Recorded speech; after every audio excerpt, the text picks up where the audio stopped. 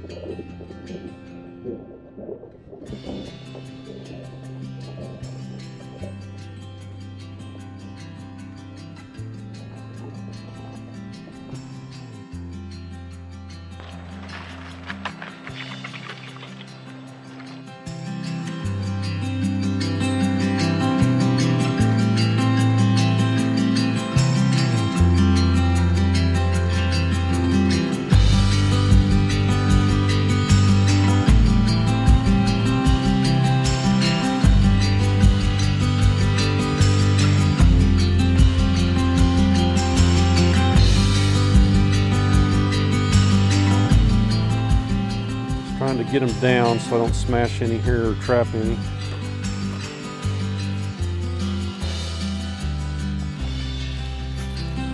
I'll throw one of these patties in here.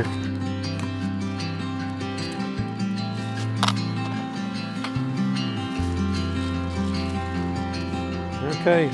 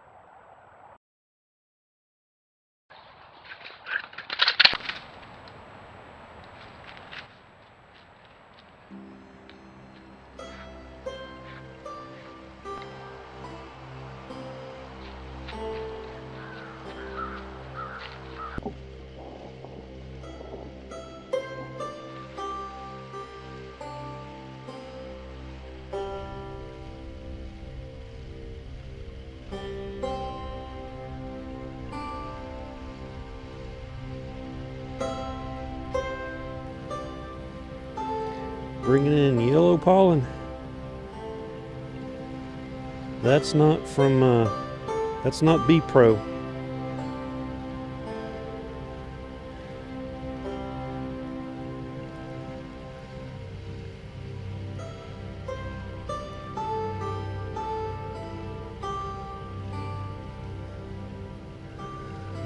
Also, what I see here is there's a bunch of drowned bees in there. I didn't think this kind of feeder would do that. Cause see how they're walking on the sides? I don't get why that happened. So anybody has experience with these feeders, let me know.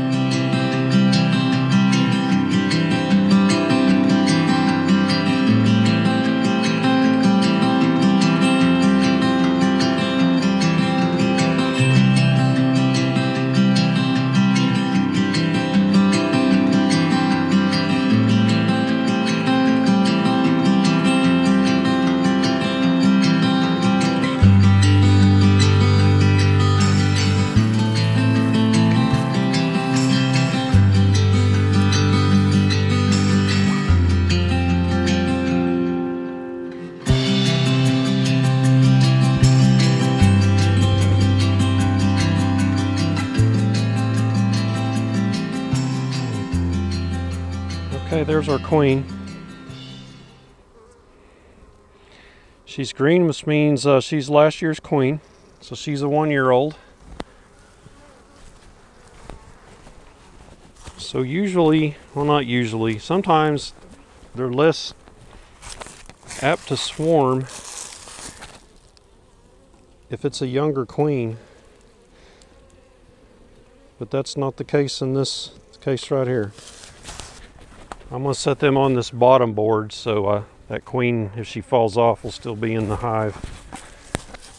So now what we need to do is get this queen in this new artificial swarm resources they need to thrive. So we need to give them a brood frame or two, because this will hold five, and uh, which she's on a brood frame now, and we need to get some honey and some pollen in there too.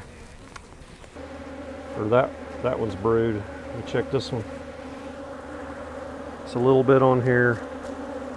Go ahead and take this one. So now we need to concentrate on some honey. So I'm gonna skip these two and go right for the outside. Oh, ah, dang it. Ah, dang it. Hate getting stung on the face. Ah, y'all need to calm down. Mercy. Ah, shit. Okay, got to go get some uh, frames, get in here, get this thing filled back up, and get the heck out of here. Ah, dang it, right on the nose. How are they getting in there? Get off of me.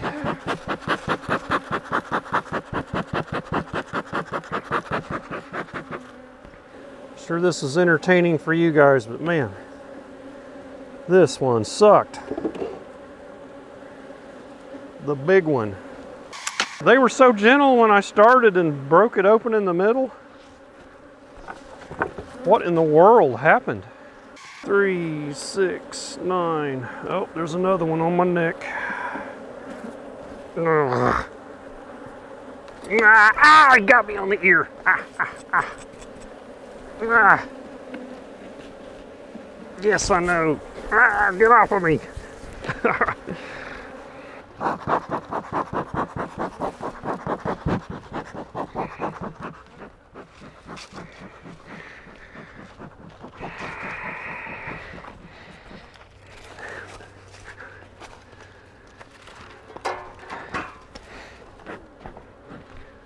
Oh my God, that was horrible.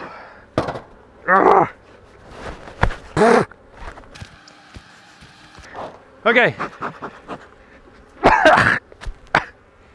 so I got to put these two nucs. I'm gonna go place them over here. Not gonna video that. I'm gonna end this sucker now. Man, why didn't I wear my full suit? Give me a thumbs up if you would, and please subscribe on your way out, and we'll catch you ah! Ah! on the eye. Ah! We'll catch you on the next one. Take care.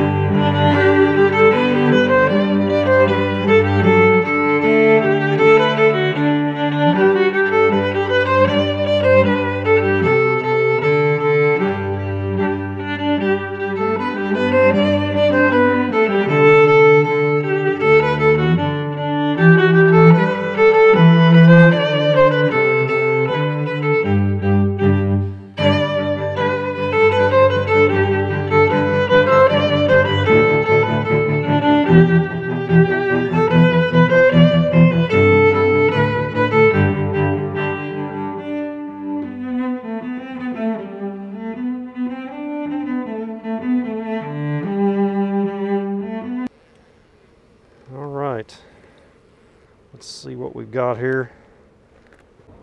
Okay, so my notes on this hive said that I saw one queen cup that was white inside, which means there was a uh, queen being formed. So let's get the bees off of here. Yeah. So they're not as far along as I thought they might be, but there are some queens being formed in here. One right there. Come on, focus. And one right, which one? Right there. Looks like there's one in there too. So there's one there. There's one there.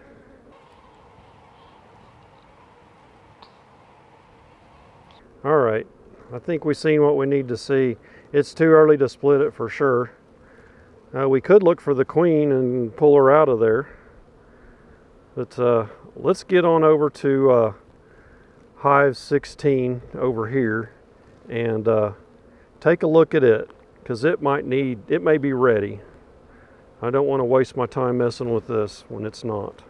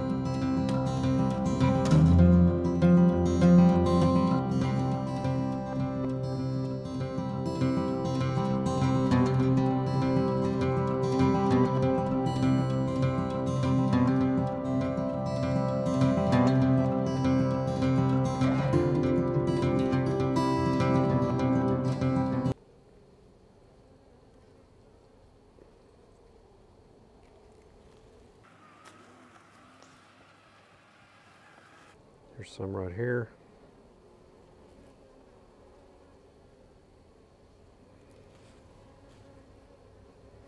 It's probably good.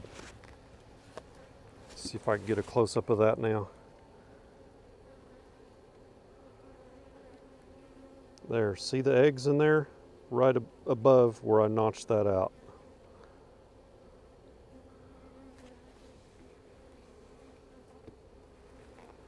Take a look at this one. Yeah, see there's two right there. That larva on the right, see that's too old for them to do a, a good queen. So there's bee bread on here that they can use and there's honey up in the corners and, and nectar. So this frame has everything they need to be self-sufficient and feed these young. Okay. We got us one right there. Not capped off yet.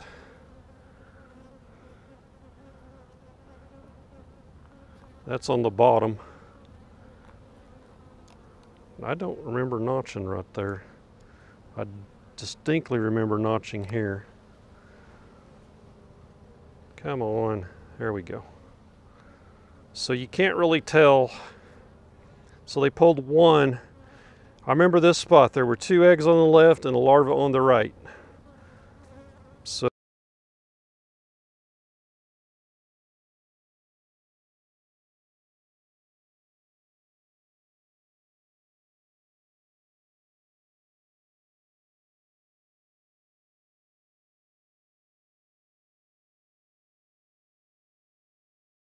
So, which one did they use?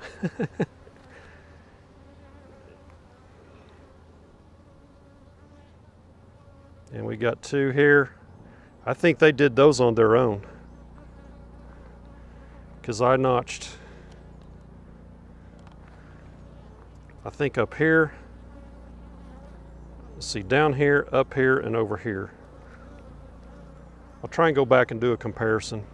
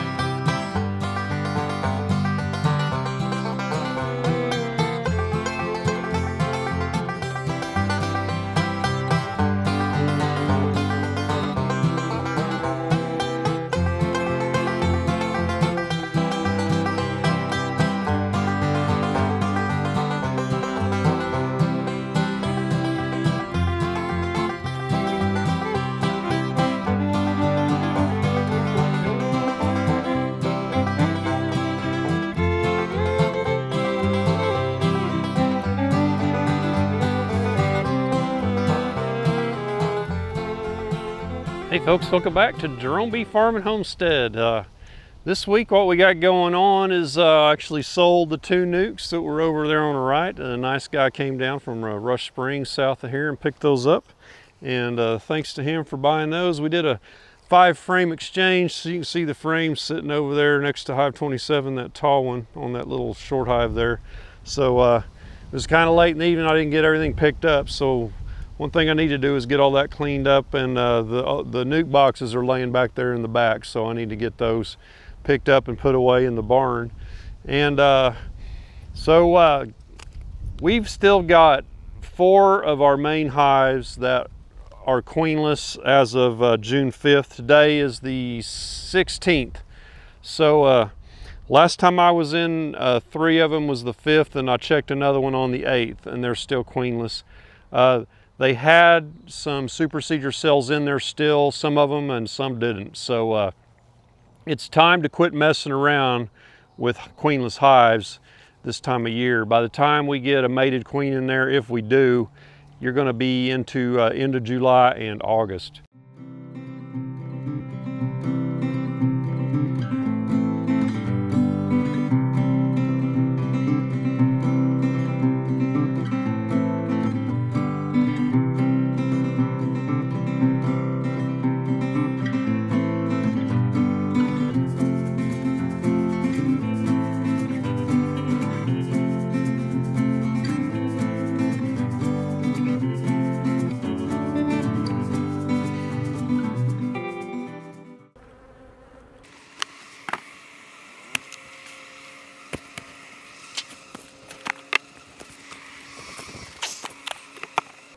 Full supers.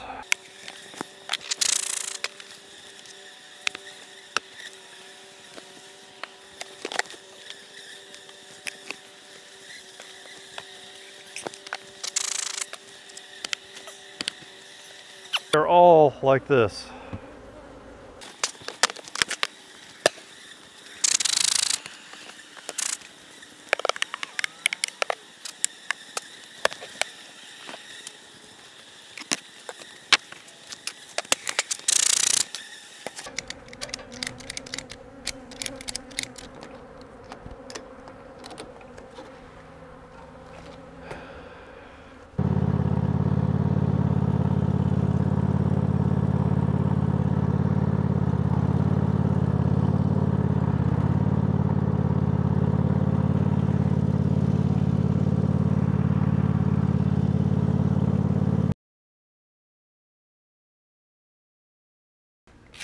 Okay, all done.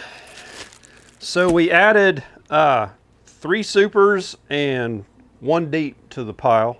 So we have 17 supers and two deeps and from what I can tell these are all pretty full. Uh, some of them have on one frame on the end that the very outside of it may not be drawn out but uh, they are all full and all capped.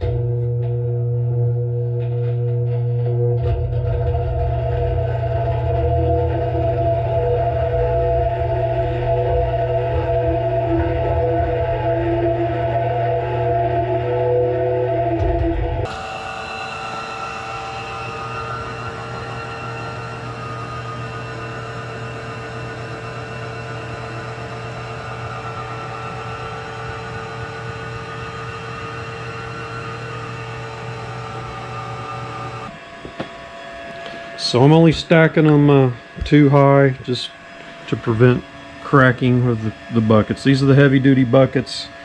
Got six here. And I've got six here. So that's all 12 of my new buckets.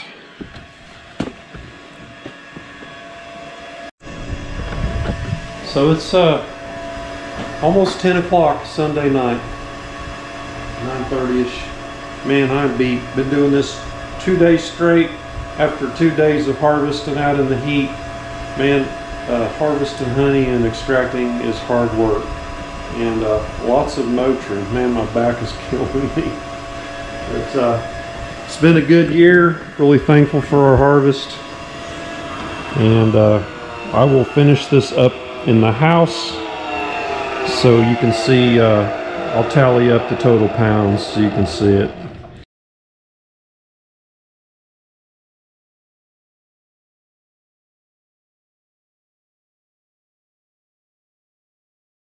So here's the honey weight that came in. So we had 15 buckets.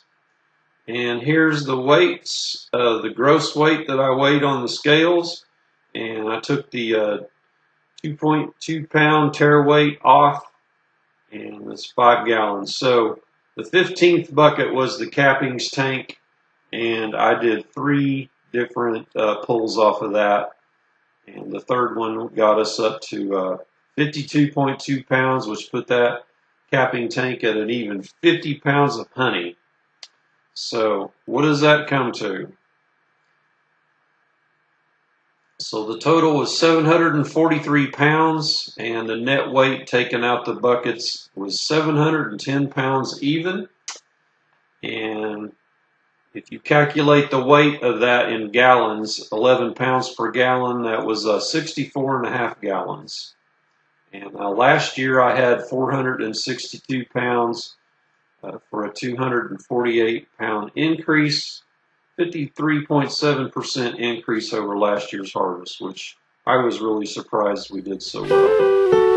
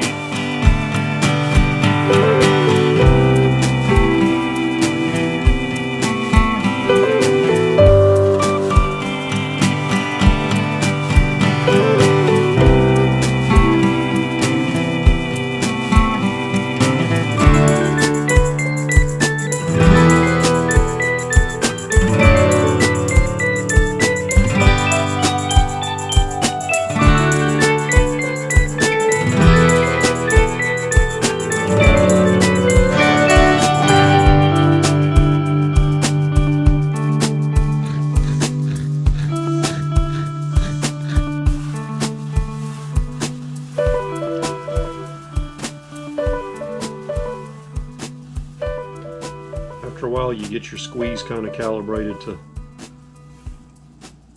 what an ounce is.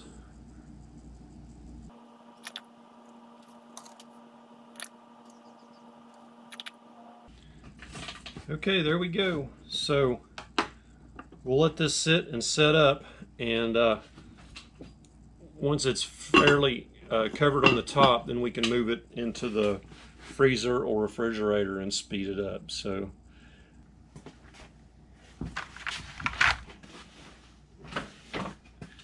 Okay, it's been about an hour and uh, or maybe an hour and a half. So let's see if we can get these out of here. Yeah, those come out easy that way. Okay. You can play Jenga. All right, so uh, that is it. That is the process for rendering, rendering your wax, filtering it, and uh, getting it ready for use. So these are in one ounce beeswax.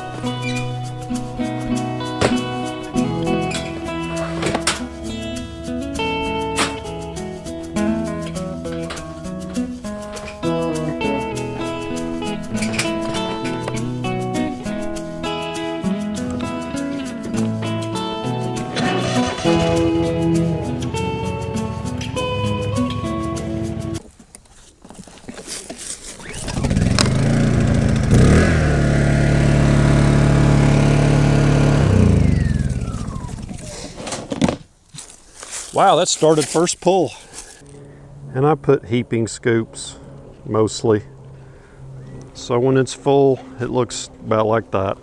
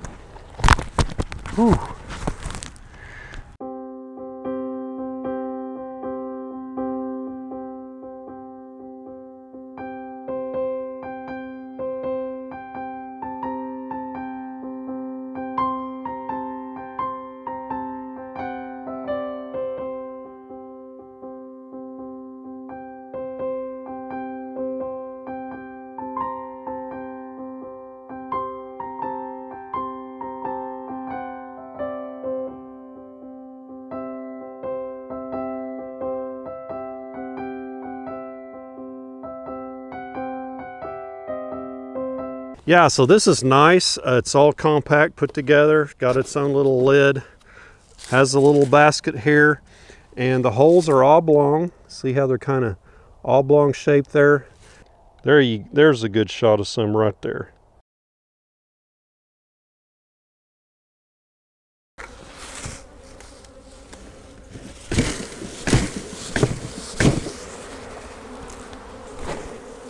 Oh yeah, that made a nice bunch there in the bottom.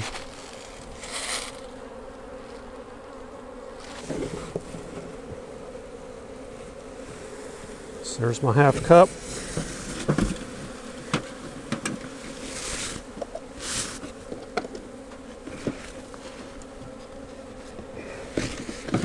And we'll put these back in the hive.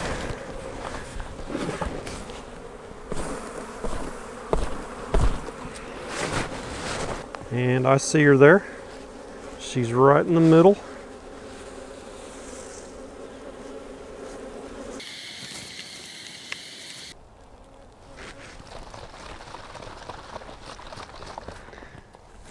And I'm seeing a few mites coming out.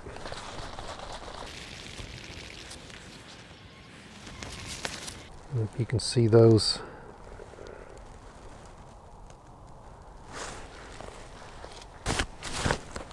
Okay, just a quick little count. I counted 16 of them in there, which that is too many. See them kind of swishing around. Yep. So we need to hit this hive, I'd say at least a couple more times, or just give it a whole nother round of three.